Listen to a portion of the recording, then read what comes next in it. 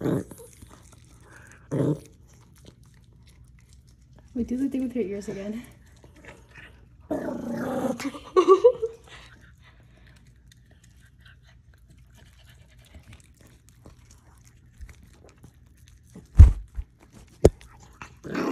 Leave her alone.